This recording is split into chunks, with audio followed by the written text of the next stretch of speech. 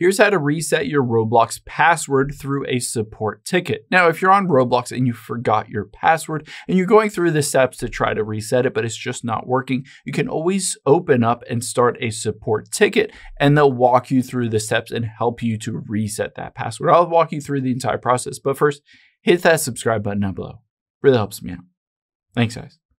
Now let's open up the Roblox app here, or you can go to roblox.com if you're on a computer.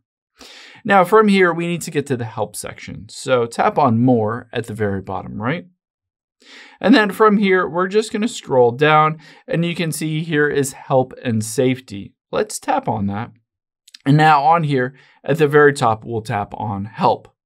So this will get us to the help section in Roblox. And all we need to do is scroll down. At the very bottom, you can see promoted articles. And a common one here is I forgot my password.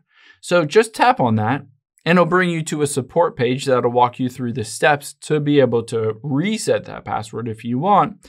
But if none of these work, you can always open up a support ticket. So you can see still having troubles you can contact customer support. So tap on that button and it will open up a web-based version. So you can see now I'm in roblox.com. I'm logged into my account. You're going to enter in your first name, your email address here. And then once you get down to issue details, we're going to select which specific device you're on. In my instance, I'm on an iPhone. You can do this on Android, computer, whatever you have. And then the type of help. And the very first one, account hacked or I can't log in. Tap on that. And then it will have a secondary thing that says forgot password. Now, you've filled out this form. Now you need to describe the issue.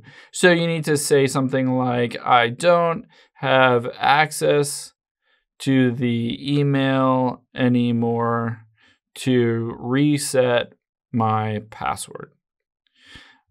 I can prove it's my account and then go through the basically process or description of how you can prove it's your account.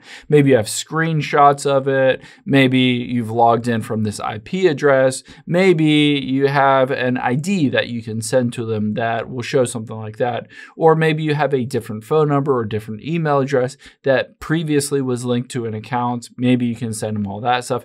They'll basically go through this and review it all. Usually within a few days, they'll send you an email. So make sure that email address that you enter in right here is your actual email address. They'll send you an email and give you a notification in the app here. And basically, they'll walk you through the process of getting that fixed and resetting that password so that you can log into your Roblox account. I hope this helps. If it did, hit the like button down below and leave a comment if you have any questions. Thanks, guys.